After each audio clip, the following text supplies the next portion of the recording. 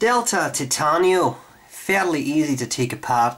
First, unscrew the cap, unscrew the barrel, post the cap for easy storage, put them away. What you're left with is the section, nib, feed and converter. In this pen, the converter screws out, but the beauty of this converter is it can be disassembled. Grab the ink reservoir, grab this metal ring, give them a firm twist, you can unscrew them. Metal ring comes off, piston can be pulled out, piston can be removed completely. Put a little bit of silicone grease right around here to lubricate it. Put a little bit of silicone grease right on these threads for smooth operation. once you are ready, just take the piston housing unit, gently put it back on there so that the piston moves.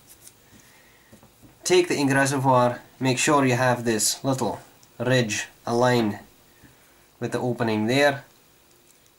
Gently slide it in, take the ring, put it in, screw it back in place, converter is done, very easy for cleaning. When it comes to the section, nib and feed, a friction fit, just pull them out, clean them well, but be careful you don't flush them down the sink, that'd be a pity. Now when you're done, note there is a little bit of space spared out at the top of the section Clearly, the widest point is where the nib goes. Make sure you align it properly. If you don't, it won't fit. Then you just rotate the section carefully until it slides in place. Nib and section, sorry, nib and feed are in there. When they're all the way in, take the take the converter, screw it back in.